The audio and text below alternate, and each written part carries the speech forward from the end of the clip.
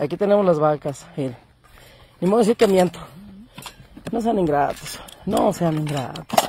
No nos hagan esto. Ya, miren, es el calabazal, hombre. Habiendo un, basurero, aquí es el panteón de los animales muertos. No frieguen, es una vergüenza. Miren, me da vergüenza subir esto al Facebook, pero es que no, de, de otra manera no hay como la gente tenga la conciencia de tener nuestra comunidad limpia. Miren, es una vergüenza. Aquí es para eh, venir a recrearnos, a, caminar. No podemos venir a caminar ya porque ¿cómo vamos a caminar con esto? Imagínense.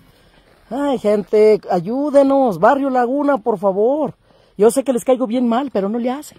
Porque, este, porque pues estoy diciendo esto de la basura, pero piensen, es un bienestar para todos, para nuestros hijos, para nuestros nietos. Por favor, ayúdenos a mantener limpio, miren los basureros. Teniendo un basurero, híjole, esto qué vergüenza.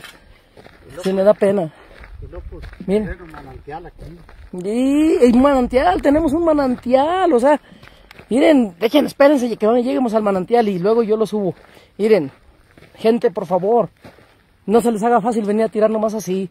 Habiendo un basurero, por favor, váyanse a tirar todo esto al basurero, al hoyo, hasta abajo, no nos dejen tampoco arriba, pues es que también nadie pone nada de su parte. ¿Qué pasó? Miren, ¿cómo ven? ¿No dará tristeza todo esto?